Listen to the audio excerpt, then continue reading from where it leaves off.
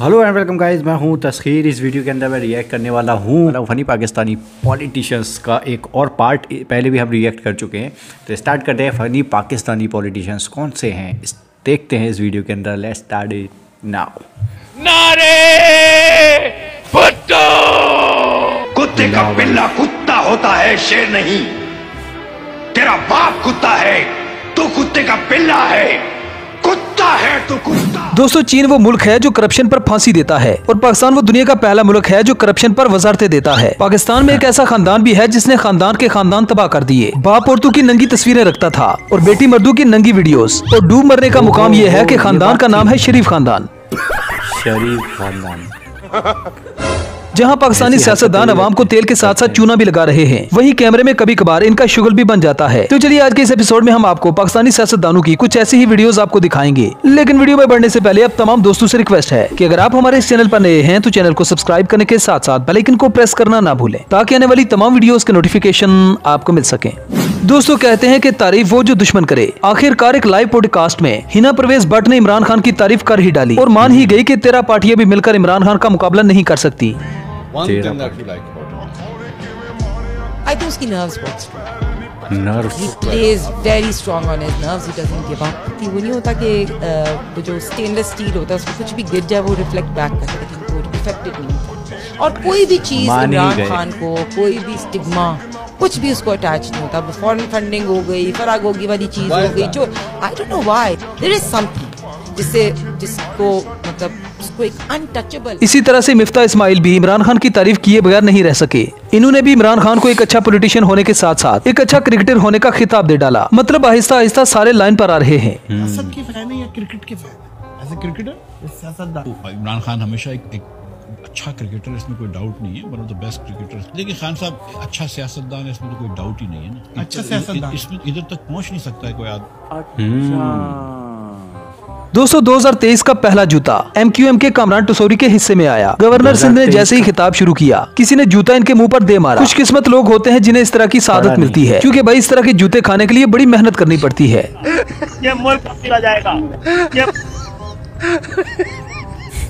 बराबर का हकदार नहीं समझा जाएगा। ये मुल्क जाएगा। और बराबर का हकदार नहीं समझा जाएगा। ये मुल्क जाएगा।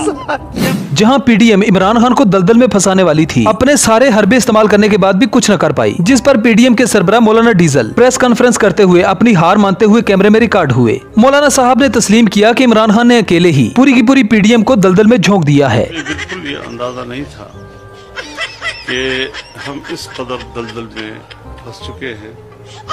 और दलदल में फंसा हुआ आदमी जितना भी निकलने की कोशिश करता फंसता है जाता उतना है। ही। दलदल उसे अपनी तरफ़ खींचता है। ये सब क्या देखना पड़ रहा है? अच्छा है मैं अंधा हूँ।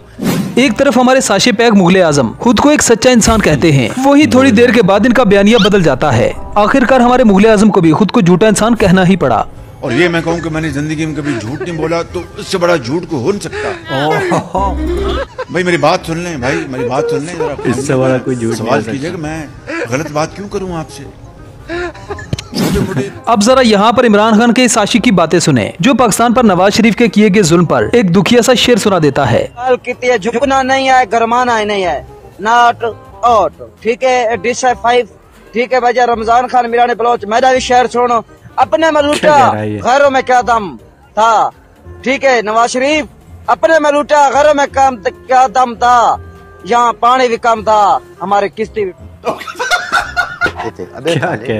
दोस्तों नून लीग को जब भी कोई मसला दरपेश होता है तो डड्डू चार्जर को चाबी लगाकर मीडिया पर जलील होने के लिए भेज दिया जाता है। इमरान खान के असम्बलियाँ तोड़ने के फैसले पर हमारा डड्डू चार्जर कुछ ज़्यादा ही जज्बाती हो गया। तमाशे करते शोर करते मैं असेंबली आज तोड़ दूँगा मैं कल तोड़ दूँगा मैं परसों तोड़ दूँगा मैं जुमे को तोड़ दूँगा मैं बुध को तोड़ दूँगा तोड़ो असेंबली परेशान हो गए।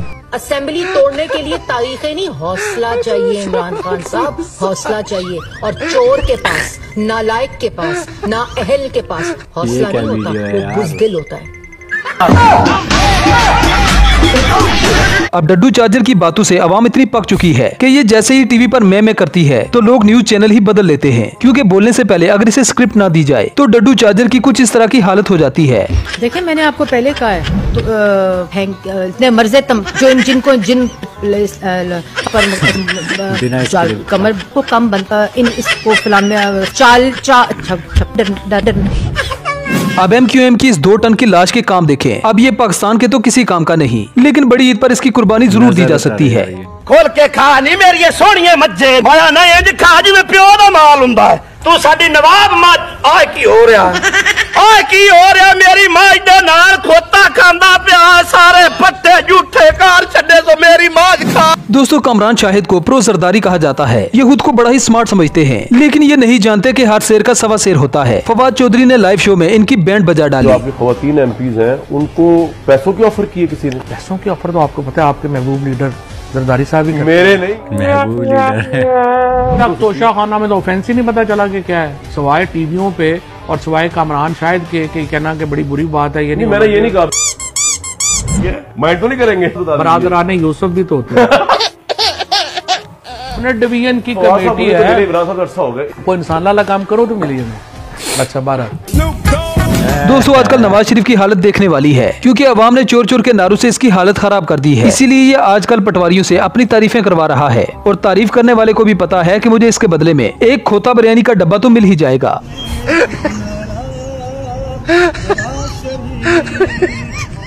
गाना गा रहा है।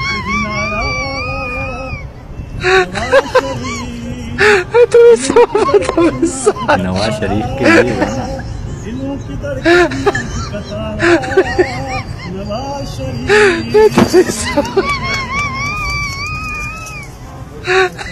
दोस्तों हमारे मुगले आज़म ने आटे के बदले में अपने कपड़े बेचने का ऐलान। सिर्फ़ अपनी मौजूदा हुकूमत में ही नहीं किया। ये पहले भी अवाम को इसी तरह से फुद्दू लगाता रहा। ना तो रोटी सस्ती हुई और ना किसी कबाड़ी ने इसके कपड़े खरीदे। नवाज़ शरीफ।